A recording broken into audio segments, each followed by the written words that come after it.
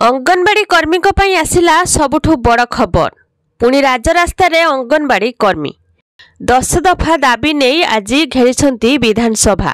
ହଜାର ହଜାର ସଂଖ୍ୟାରେ ଅଙ୍ଗନବାଡି କର୍ମୀ ଓ ସହାୟିକା ରାଲି କରିବା ସହ ବିକ୍ଷୋଭ ପ୍ରଦର୍ଶନ କରୁଛନ୍ତି। ଏଥିସହ ସରକାରଙ୍କୁ ଚେତାଇ ଦେଇଛନ୍ତି ଯେ ଏଥର ପ୍ରତିଶ୍ରୁତି ପୂରଣ ନହେଲେ ଅସୁବିଧା ପାଇଁ ସରକାର ଦାୟୀ ରହିବେ। ତେବେ ହକ୍ ପାଇଁ ବିଧାନସଭା ଆଗରେ ଅଙ୍ଗନବାଡି କର୍ମୀଙ୍କର ଗର୍ଜନ। ପ୍ରତିଶ୍ରୁତି ପାଳନ କରୁନଥିବାରୁ ସରକାରଙ୍କ ବିରୋଧରେ ପୁଣି ବାନ୍ଧିଛନ୍ତି ମେଳି। ଯାହାକି ବିଧାନସଭା ଅଧିବେଶନରେ ପ୍ରଥମ ଦିନରେ ହିଁ ରାଜ୍ୟରେ ଓହ୍ଲାଇ ଆସିଛନ୍ତି ରାଜଧାନୀ ରାଜରାସ୍ତାକୁ।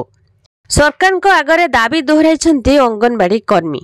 ଯାହାକି ତୁରନ୍ତ ସରକାରୀ ମାନ୍ୟତା ସହ ମଜୁରୀ ପ୍ରଦାନ ମାନ୍ୟତା ମିଳିବା ପର୍ଯ୍ୟନ୍ତ ଅଙ୍ଗନବାଡି କର୍ମୀକୁ ମାସିକ ଅଠର ହଜାର ଟଙ୍କା ଏବଂ ସହାୟିକାଙ୍କୁ ନଅ ହଜାର ଟଙ୍କା ବେତନ ଦାବି ହେଉଛି।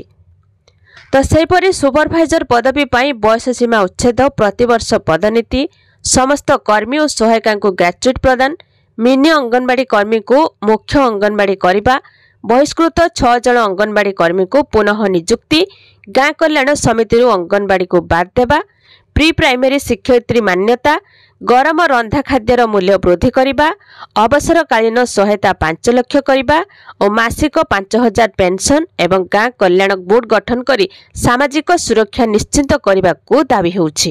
ତେବେ ଆଗକୁ ଆସୁଛି ସାଧାରଣ ନିର୍ବାଚନ। ଏହି ନିର୍ବାଚନକୁ ଆଖିଆଗରେ ରଖି ମୁଖ୍ୟମନ୍ତ୍ରୀ ନବୀନ ପଟ୍ଟନାୟକ ସେମାନଙ୍କର ସମସ୍ତ ଦାବି ପୂରଣ କରିବେ ବୋଲି କୁହାଯାଉଛି।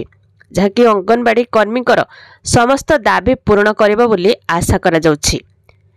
ଦଶ ଦଫା ଦାବି ନେଇ ବିଧାନସଭା ଘେରିଛନ୍ତି ଅଙ୍ଗନବାଡି କର୍ମୀ।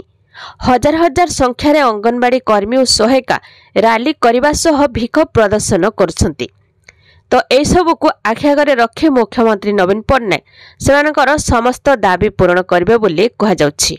ଆଉ ସେପଟେ ଅଙ୍ଗନବାଡି କର୍ମୀଙ୍କ ଆନ୍ଦୋଳନକୁ ନେଇ ତେଜିଛି ରାଜନୀତି। ବିଜେପି କହିଛି କର୍ମୀଙ୍କ ନ୍ୟାଯ୍ୟ ଦାବିକୁ ଦଳ ଗୃହରେ ଉଠାଇବ। ଆଉ କଂଗ୍ରେସ ବି ଆନ୍ଦୋଳନକୁ ସମର୍ଥନ ଜଣାଇଛି।